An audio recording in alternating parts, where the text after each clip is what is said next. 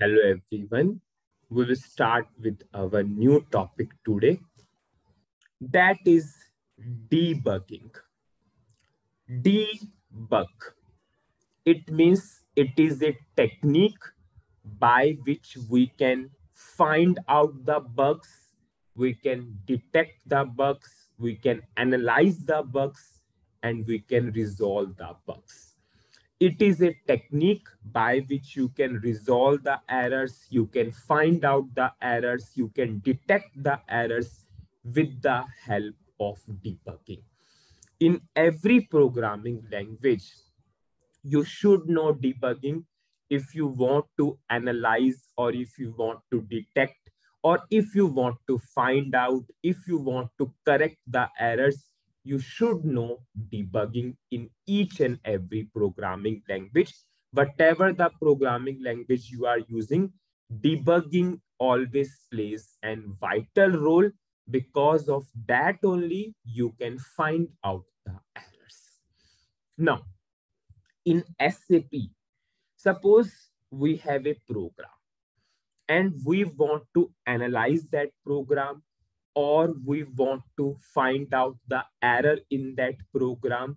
So how we can how we can analyze or find out the error using debugging. So we have two ways of debugging in sap what is the first way of debug?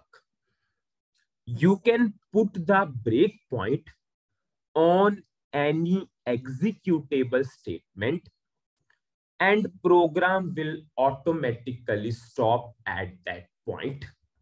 Anyways, I will show the practical. The first way is you can put a breakpoint on any executable statement. Now question comes, what do you mean by executable statement? Suppose if I will go for the program. Suppose I'm opening any program Suppose this is the program. In this program, what are executable statements? This select query is a executable statement. If statement, select query, message, else, sort, loop, write, these all are executable statements because you are executing. These all are executable statements means I can only only put the breakpoint on these executable statement. I cannot put the breakpoint on this data declaration because it is just a declaration. I cannot put the breakpoint on this select option statement because with the help of this, I'm just pa passing a input. So I cannot put the breakpoint on the declarations I can only only put the breakpoint on the executable statements. Select. It is a executable statement. If it is a executable statement, sort, loop, write, these all are executable statements.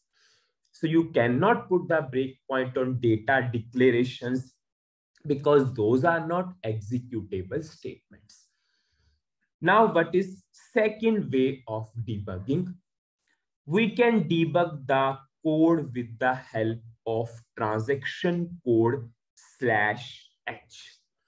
We will go for the system and we will see how we can enter into debugging mode by these two ways.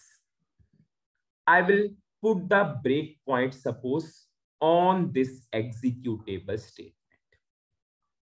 Now you will be only only able to put the breakpoint if your program is in active state active state. Suppose i put a breakpoint on this 35 number line. As of now just understand i put the session breakpoint session breakpoint anyways in the future I will come on to the difference between these two types of breakpoint. Just as of now, simple understanding, we put the cursor and put the breakpoint on 35 number line. and we got a message session breakpoint was set. I'm running the program.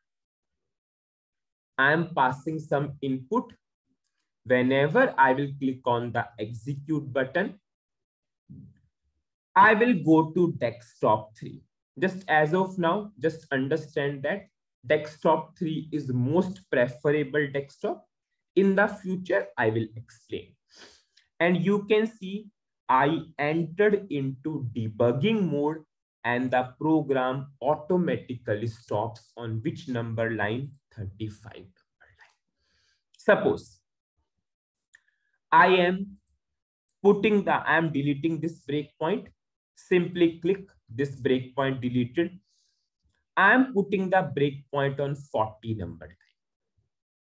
Whenever I will run the program, program automatically stops on the 40 number line. If I entered into debugging mode, desktop 3 is more preferable. And you can see program automatically stops on 40 number line. So whenever you are putting the breakpoint on any of the executable statement, your program stops there and program will automatically stop at that point. Now we will go for second way of debugging. Now what is the second way of debugging? You can debug with the help of transaction code slash h. I will show you this. I will run the program. Suppose firstly, I'm deleting this breakpoint.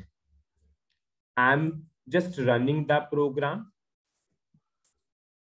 I am passing transaction code slash h. And you are, you are able to see I got a message debugging switched on. Whenever I will execute, you can see I automatically entered into debugging mode and I am on first statement of the program. So whenever you are entering through slash h, the execution starts from the first line, first executable line. So these are the two ways by which you can enter into debugging mode. First way is you can put the breakpoint on any executable statement and the second way is you can debug through transaction code slash h. Slash h is a transaction code to on the debugging and after that you can enter into the debugging. If you are going for first way, it will stop at that particular line. If you are going for slash h, it will start from the first executable line. Now, in the upcoming videos, we will analyze the features of the debugging. Thank you.